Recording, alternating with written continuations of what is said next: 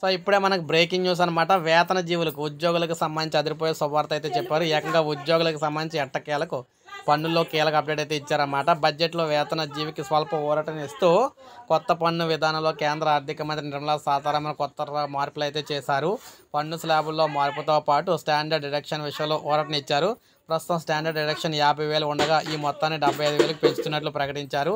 Standard deduction మొత్తాన్ని యాభై శాతం పెంచినట్లు దీనివల్ల పదిహేడు వేల ఐదు వందల వరకు కూడా పన్ను ఆదా చేసుకోవచ్చని నిర్మలా ప్రకటించారు. అయితే పాత పన్ను విధానంలో మాత్రం ఎలాంటి మార్పులు లేదని చెప్పారు. సో మొత్తం బడ్జెట్ ప్రసంగంలో ఈ విధంగా ప్రకటించారన్నమాట. కొత్త పన్నుల స్లాబులు రెండు వేల ఇరవై నాలుగు ఏప్రిల్ ఒకటి నుంచి వర్తిస్తాయని రెండు వేల ఇరవై ఐదు ఇరవై ఆరు మదింపు సంవత్సరంలో ఈ విధానంలో పూరట ఉండొచ్చని చెప్ పొందొచ్చని చెప్తున్నారు. బడ్జెట్లో ప్రతిపాదించిన మార్పుల ప్రకారం ఎప్పటిలానే కొత్త పన్నుల విధానంలో మూడు లక్షల వరకు ఎలాంటి పన్ను అయితే ఉండదు. గతంలో మూడు నుంచి ఆరు లక్షల స్లాబ్లు ఐదు శాతంగా ఉన్న పన్నుగా ఉండేదన్నమాట. ఇప్పుడు ఆ పరిమితిని ఏడు లక్షలకు అయితే పెంచారు. ఈ మేరకు స్లాబ్లో స్వల్ప మార్పులు అయితే చేశారు. గతంలో ఆరు నుంచి తొమ్మిది లక్షల స్లాబ్కు పది శాతం ఉండే పన్నుని ఈసారి ఏడు నుంచి పది లక్షల వరకు పెంచడం అయితే జరిగింది. పది లక్షలకు వార్షిక ఆదాయం ఉన్న వారికి పది శాతం పన్ను వర్తిస్తుందన్నమాట. ఈ మార్పులు పాత పన్ను విధానం ఎంచుకున్న వారికి అయితే వర్తించవన్నమాట.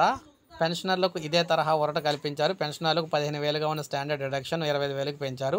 రెండు వేల ఇరవై మూడు ఇరవై నాలుగు ఆర్థిక సంవత్సరంలో మూడింట రెండు వంతులు మంది కొత్త పన్ను విధానాన్ని ఎంచుకున్నారని నిర్మల అయితే తెలిపారన్నమాట. ఈ ఏడాది ఎనిమిది పాయింట్ అరవై ఒక్క కోట్ల రిటర్న్లకు సంబంధించి దాఖలు అయితే అయ్యాయని చెప్పారు ఇప్పటి వరకును.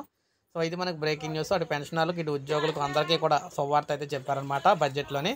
సో ఒక లైక్ చేయండి సబ్స్క్రైబ్ చేసుకోకపోతే మన ఛానల్ సబ్స్క్రైబ్ చేసుకొని ఫాలో అవుతున్నాను